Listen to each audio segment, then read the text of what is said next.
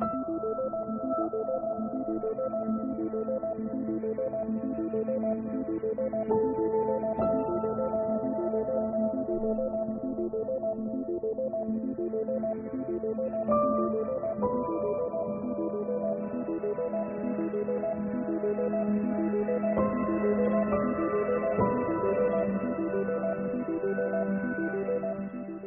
comandante Ramiro me mandó a buscar. Y tú dices, bueno, esto puede ser para bien o puede ser para mal. Pues bueno, para mal no es, porque yo al final no he hecho nada malo, ni tengo nada que ver con el comandante, no tengo ningún incumplimiento. Entonces yo dije, esto es para lo de Che. Yo fui por el camino manejando mi colaquito, cinco kilómetros y medio de pensamiento. Y yo, si él me pregunta esto, yo le contesto a él. Si él me dice esto, yo, vaya, yo iba preparando mi esquema, mi estrategia de, de entrevista con el comandante. Y fui para allá.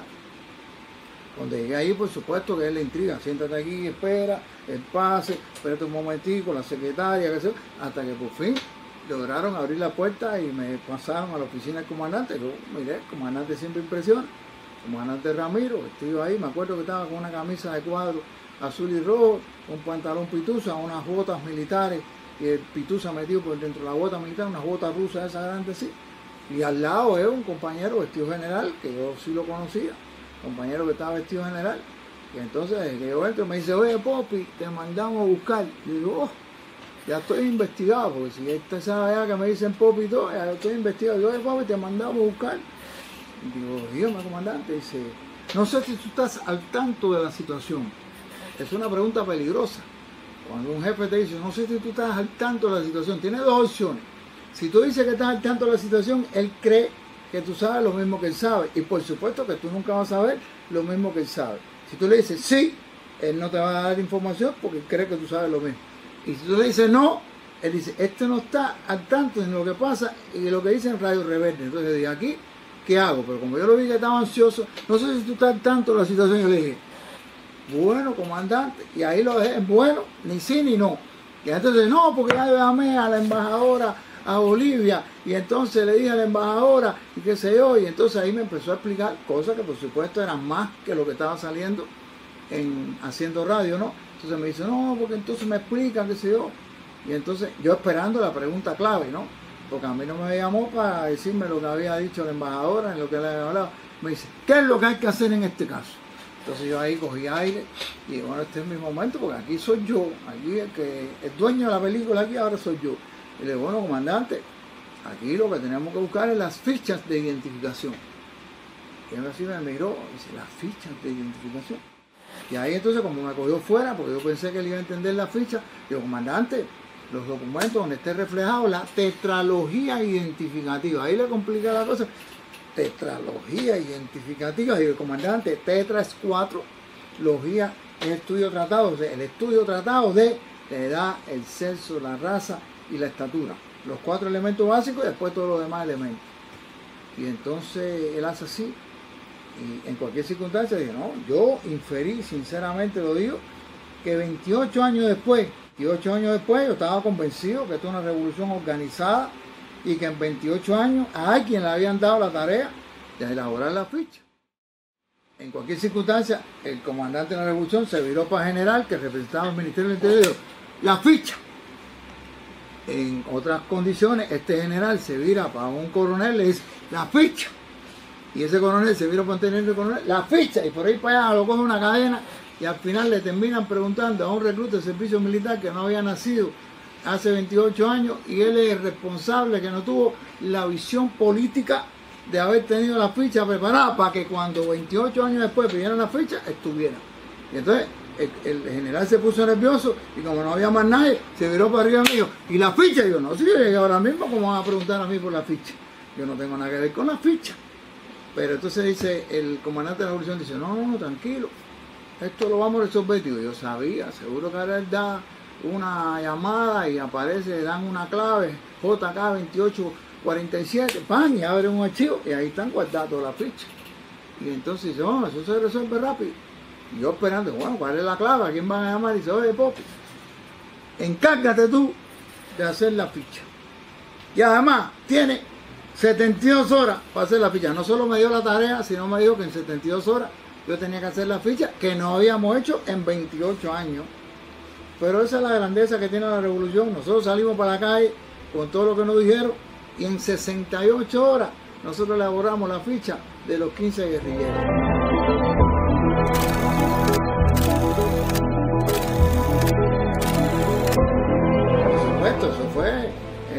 Maratón. Eso conllevó a que nosotros llegamos a las casas de la gente, yo tocaba en las casas de los familiares. Nosotros, ah, yo le pedí permiso para hacer grupos de trabajo. Yo solo con general no podía. Se decidió hacer cinco grupos de trabajo. Al final éramos 10 personas, uno de criminalística y uno de medicina legal. El general representaba la criminalística yo representaba la medicina legal.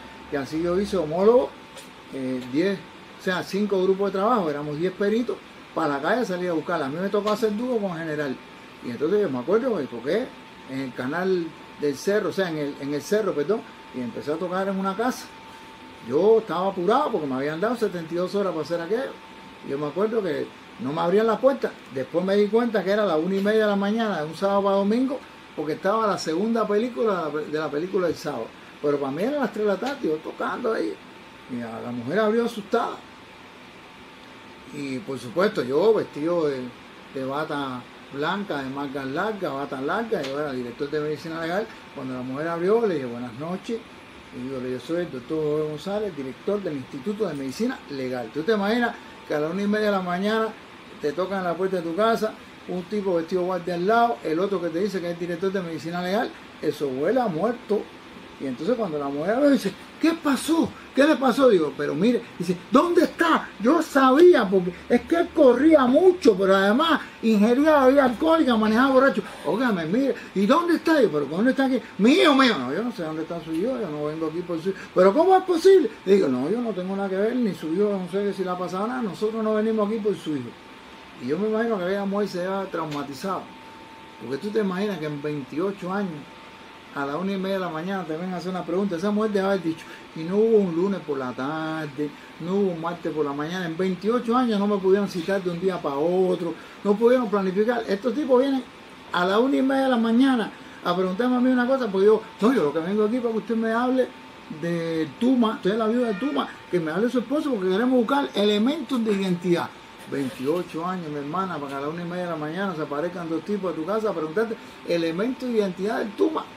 Y entonces, pero bueno, ella se recuperó, logró, y efectivamente la, conversación fue muy fluida y ella logró explicarnos y decirnos elementos, incluso una lesión en el codo que fue fundamental cuando encontramos los restos de Duma para poder hacer la identificación. Y con esos elementos, así se hizo con toda la, familia. Aquello fue un maratón y a las 68 horas eh, logramos hacer las 15 fichas de identificación y fuimos y la entregamos al comandante Ramiro. Entonces yo le digo a la gente, por eso el imperialismo no puede con nosotros. Porque los únicos en el mundo que somos capaces de que una cosa que no hicimos en 28 años la logramos hacer en 68 horas somos nosotros. Y mareamos cualquiera porque el imperialismo no cree que nosotros somos capaces de que si en 28 años no lo hicimos, nosotros seamos capaces de hacerlo en 68 horas. Y lo hicimos. Y nos preparamos. Después de aquello, yo me acuerdo que la tarea mía era salir para Bolivia. Y yo, bueno, empecé, como es lógico, uno a prepararse, Bolivia, las características, la geografía, la historia de la guerrilla, el diario Che, o sea, uno se prepara porque tiene que inteligentemente prepararte para la tarea que te toca, que puede ser esta y puede ser otra. Entonces yo me empecé a preparar. Pero entonces de pronto me dice, no, voy para casa de Adi Froilán, 68 horas sin dormir. Y entonces me dice, ve para casa de Adi Froilán que, para que te expliquen los enterramientos en Bolivia. Y yo caballero, que si yo lo que voy es a identificar como yo no, yo no voy a hacer búsqueda, yo no tengo, pero los jefes siempre tienen una visión mayor que tú, y no voy, prepárate también para saber los entierros dónde están. Y ahí me sentaron en casa de David Froilán, yo me acuerdo que me senté en un sillón sin dormir, loco, desesperado. Ahí Froilán, que había estado cuatro años en Bolivia, pretendían que yo en una madrugada me metiera en la cabeza los cuatro años que ellos habían estado ahí, entonces hablan y hablan, y yo ándome sillón ahí para no quedarme dormido, casi poniéndome unos palitos de tendedera en los ojos para mantenerlo abierto hasta que ellos terminaron de explicarme todo, pero yo estaba embotado. Casi lo que ellos me hablaban me rebotaba. Yo no sé qué cantidad pude haber captado lo que me dijeron, pero además yo no estaba motivado por saber lo que ellos me decían, porque decía, lo mío es identificar, lo mío es la ficha, que era lo que yo había trabajado, no la búsqueda. Pero bueno, los jefes siempre sabían que había que tener una integralidad mayor. Termino eso y me dicen, te vas para Bolivia, tú eres la avanzada, porque íbamos a ir un equipo, ya yo tenía preparado el equipo que iba conmigo, multidisciplinario, y yo no, te vas porque no han dado permiso, ve para allá. Ahí empieza la primera confusión porque me manda para México, un vuelo para México. Estoy perdido en geografía, si Bolivia queda para el sur, y me están mandando a mí para el norte, y me dicen, no, es que para, para confundir al enemigo, para que el enemigo no vaya a sospechar, qué sé yo. Entonces yo arranqué para México, y de México tenía que seguir para Bolivia, pero era México, de México Panamá, Panamá, Perú, Perú, eh, Bolivia. Entonces me dicen, si montan avión de cubana, come. Y si montan avión de cubana, no coma, porque además yo tenía un maletín donde tenía todas las fichas de identificación, tenía ahí el molde de la dentadura de Che, tenía además los cabellos de Che, tenía toda una serie de cosas ahí. Yo tenía ese maletín, era una cosa. Entonces me dice, no llames la atención tiene que bajo perfil. Lo peor que te pueden decir a ti en la vida es que no llaman la atención, porque entonces tú no sabes, tú caminas diferente. Para no llamar la atención, entonces tú llamas más la atención. Ellos no llaman la atención. La gente se monta un avión y pone el maletín ahí en el portaequipaje. Y entonces si va al baño, va al baño, ve el maletín. Yo no. Yo estaba con el maletín arriba de las piernas. Como iba en el avión, nada más que me tocó el avión de Cubana por la tarde que no llevaba comida, ahí para adelante yo no comí más. Me metí los dos días de camino sin poder comer. No coma y entonces ya, tú, si tú no comes, fíjate que es una información adelantada, cuando la gente puede ser mula de droga, una de las cosas es que no coma. Pero yo no comía, entonces no comía. Eh, si iba al baño, llevaba el maletín. Eh, eh, o sea que yo, al final yo todo lo que hacía era al revés, era llamar la atención constantemente. Hasta que finalmente llegué a, Bolivia. Yo siempre digo a la gente que cuando pasé por Perú, me dice, oye, ten cuidado que ahí está la gente Fujimori, el servicio de inteligencia Fujimori. Y entonces no entres al baño, que el baño es peligroso, te trabancan en el baño y te quitan el maletín, entonces yo tenía que estar en lugares públicos. Yo no me movía para lugares donde estuviera yo solo.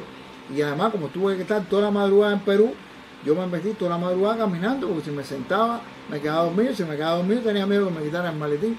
Y entonces me pasé haciendo infantería todo el aeropuerto, no llama la atención, me imagino con los servicios de inteligencia de las cámaras, este tipo es esquizofrénico, tiene algún problema psiquiátrico, porque lo único que hacía era camina para aquí, camina para allá, camina para aquí, camina para allá. Y entonces yo le digo a la gente que yo soy el único cubano que no ha tomado café, pero lo ha inhalado. Yo pasaba por delante de la cafetería, así, así, inhalaba café para mantenerme despierto, porque no podía entrar a tomar el café, para que no podía ir al baño, no podía tomar líquido, hasta que, bueno, pues finalmente llegué a Bolivia.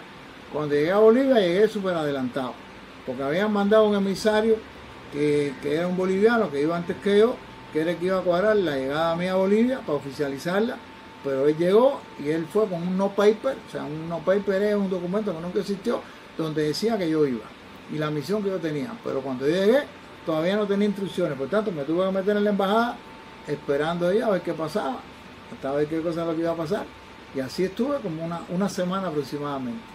Y yo me acuerdo que a mí me llamaba la atención porque al principio que llegué, yo era que le decía a la embajadora las instrucciones, porque yo venía a Cuba y traía la última noticia. Pero cuando pasaron los días, ella era la que recibía la noticia de Cuba, yo tenía que enterarme por ella eran las instrucciones, pero la embajadora se sentaba conmigo, yo, el Papa, tú sabes que siempre el Papa se siente en un asiento más alto.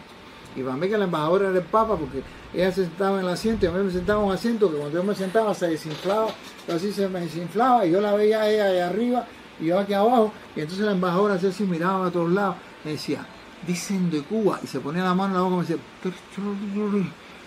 y yo le decía, ¿cómo? La primera vez le pregunté, ¿cómo? Y ella me decía, ¿qué dicen de Cuba?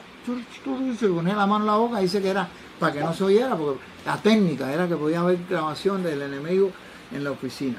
Después se le ocurrió salir para la calle eh, a trotar, y yo a 4.000 metros de altura, reventado, ella con mono deportivo, ropa deportiva, y yo con la ropa que llevaba, la bota que llevaba, trotando ahí con una falta de aire total con la cabeza jorobada para tratar de mirar la boca, pues ya se pone la mano en la boca y dice, dicen de Cuba. Al final, lo que te puedo decir es que yo nunca me enteré de lo que decían de Cuba. Pero yo le digo a los estudiantes y a la gente cuando le converso, digo, si dicen de Cuba, ¿quién decía de Cuba? ¿La revolución? ¿Qué cosa es? Sí. Cada vez que me decían, dice Cuba, dice, sí, embajadora, sí. Ya yo, en condicionalidad. A mí que me da lo que digan, si ya yo sé que yo vine. Pues yo sé cuál es mi tarea. Yo lo que tengo que esperar es entrar en la concreta. Y con esos elementos estuve hasta que finalmente transcurrió una semana, es que fui para Valle Grande. Aquello fue también un poco, a veces la gente dice, no, una tarea, y la gente la ve romántica, no, pero la tarea romántica tiene una bola de problemas. Entonces ella me manda para, para Santa Cruz, de Santa Cruz yo tenía que ir para Valle Grande, yo ni me conocía la geografía bien ahí, no conocía el modo operandi. Todavía yo tenía una mentalidad del CAME, que tú llegabas a un lugar y siempre te estaba esperando a alguien para que te guiara. No tenía la independencia que hoy tiene la gente para viajar. Yo estaba acostumbrado a que me llevaran de la mano. Entonces, y digo, bueno, ¿y en Santa Cruz quién me va a esperar? Yo nunca había ido a Santa Cruz. Si no se preocupe, ahí lo van a estar esperando, doctor. Yo llegué al aeropuerto de Santa Cruz, el maletín negro, acuerda que tenía toda la cosa esa. Y además siempre digo a la gente, ¿y qué más tenía que tener el maletín? No, tenía que tener dinero. Si no tenía dinero, yo estaba con una cantidad de dinero que nunca me había visto tanto dinero. Yo estaba nervioso con el dinero que llevaba en el maletín. Llego ahí a Santa Cruz y cuando salgo del aeropuerto, salgo del área de, de ya de, del control y miro, no veo a nadie. Yo pensé, oh, alguien va a estar con un letrerito. Y yo dije, no, a lo mejor le digo, eh, rosa, blanca, es la conmigo, algo para que para podernos identificarnos, fuera a ser que yo cogiera un camino equivocado. Y de pronto veo que no hay nadie. Y entonces espero unos minutos, no había nadie. Y de pronto dicen por el lado del aeropuerto, doctor Jorge González, doctor Jorge González, presente sin información. Digo, ¿verdad que el mundo es chiquito? Porque tú te imaginas que yo llegue por primera vez en mi vida a este aeropuerto en Santa Cruz y hay alguien que está llegando en este mismo vuelo que se llame eh, Jorge González y sea doctor igual que yo, porque yo no creo que ese sea el contacto de la embajadora, porque si esto es una cosa de intriga, ¿cómo va a estar metiendo un bocinazo ahí por el lado del doctor Jorge González? Y yo me quedo incrédulo, pero no habían pasado unos segundos, unos minutos, de pronto vuelvo a decir, ya yo lo veía que era un poco más imperativo. Doctor Jorge González, doctor González, presente esa información. Digo, oye, esto será conmigo. Entonces yo, no, espérate, pues entonces yo uno ha aprendido mucho, he visto muchas películas y eso, entonces yo, no, pero yo lo que no voy a ir es para información. Yo me voy a parar en un ángulo en el cual yo vea cómo es la onda de información, yo vea, y cuando yo vea que un tipo se acerca y hable con la gente de información, y diga mi nombre, es el que me está buscando a mí para yo caracterizar el tipo, ver cuál es el ambiente. Yo para ir para información, o sea, me paro en un ángulo y miro y veo tres hombres que estaban ahí, uno con una cámara en la mano. Y yo estudié, mi doctorado en Alemania fue el alcoholismo, alcoholismo agudo y la influencia del alcoholismo agudo en los, en los accidentes de tránsito. Entonces digo, no, no, esto es. Y cuando miro, los tipos, estos tipos están curdas la gente tan borracho, evidentemente, no tengo la menor duda de eso. Y entonces, bueno, hasta que me veo que son ellos, evidentemente, se acercan, hablan y me llaman. Y entonces no, pues no puede ser que embajadora me estén mandando a ponerme en contacto con esta gente que están borrachos. Y entonces uno de ellos me ve, parece que la embajadora le había dicho, uno que tiene un bigote muy grande. Y entonces lo digo, y uno le dice al otro, míralo allí, pero gritaba ahí en el medio que había una cafetería, yo que estaba intrigado, medio escondido, medio que me creía que yo era la gente 007, y, con toda aquella intriga, digo, míralo allí, y los tipos me van para arriba y dicen, usted es doctor González, usted fue el que embajó, el que mandó la embajadora de Cuba, gritado, digo, entonces yo me acuerdo que cuando digo, ¿usted es doctor González? dije, sí, porque hay una cosa psicológica, cuando te grita, todo la bajito, es una forma de transmitir a la gente que te baje la voz. Yo digo, sí, pero el sí me salió un poco fino, ¿no? Porque, sí. Y entonces me dice, ¿usted mandó el embajador? Sí. Y entonces yo, esto está complicado aquí. Hasta que los tipos dicen, no, mire, nosotros estamos borrachos, porque ellos me dieron chupado. Yo no entendía qué cosa era chupado. Nosotros estamos chupados porque es que estábamos en la fiesta del hijo de él que se graduó, el embajador nos llamó. Y entonces, díganle qué es lo que hay que hacer. Digo, yo no puedo creer que esta gente, la embajadora, no le haya dicho cuál es la tarea. Entonces dice, no, digo, no, no, lo que hay que hacer es ir para Valle Grande. Yo me di cuenta que eran casi las 10 y pico de la noche, que lo que yo le dije era un disparate, porque para ir para Grande eso conllevaba preparación y toda esta serie de cosas. Conclusión, para no ser de larga la historia, salimos para Valle Grande. Ellos crearon las condiciones, salimos para Valle Grande, ellos me llevaron para Valle Grande, yo fui traumatizado por el camino, porque yo no quería hablar nada con ellos, porque lo mío era que ellos me transportaran, porque yo no podía decir nada de mi tarea. Y ellos locos porque yo les explicaba en qué consistía la tarea, y yo callado todo el tiempo. Entonces, yo me acuerdo que cuando yo iba mirando por el camino, yo decía, oye, como hay bonsai aquí, porque yo veía una cantidad de árboles chiquitos.